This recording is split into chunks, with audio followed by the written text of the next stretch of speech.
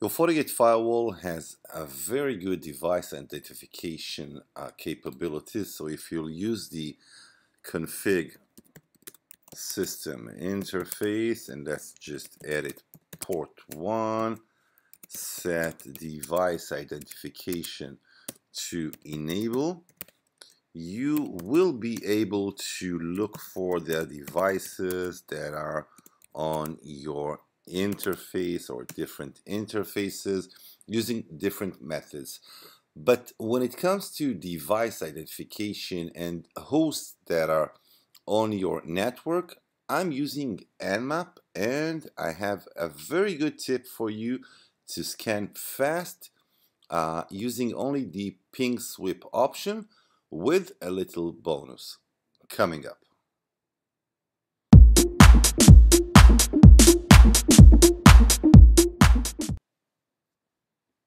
When sometimes when you try to scan different hosts on your network, you are using the Nmap Classic Scan, using uh, uh, SYN, and using different options. Uh, I'm using usually I'm using only the ping sweep. So let's just do that, and let's look at the results. So in the ping sweep, I'm actually sending an echo request and then I'm getting the echo reply. Now we will look at the different types of ICMP messages so that we can conduct the second scan which will come very soon.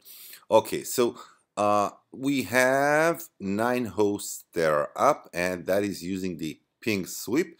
As you can see, I'm only getting the IP addresses plus the uh, latency.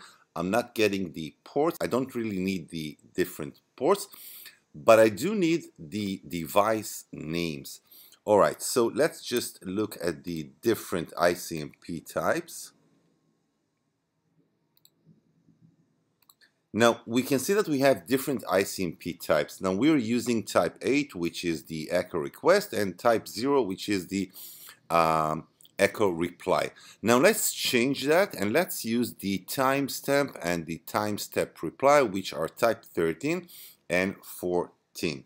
So let's get back to our terminal and let's use the same command but let's use different types of different types of um, ICMP messages. To do so we use the dash and the double P. These are uppercase P's which actually means that I'm sending a ping sweep with type 13 and type uh, 14. All right. Now I'm not, I'm, I need the root privileges, so I'll just use that again using the sudo privileges. And let's just enter the password. And here you can see that I'm getting uh, the results much faster with the device names, with the vendor device names coming up just using the echo um, timestamp and not the echo reply and request as usual.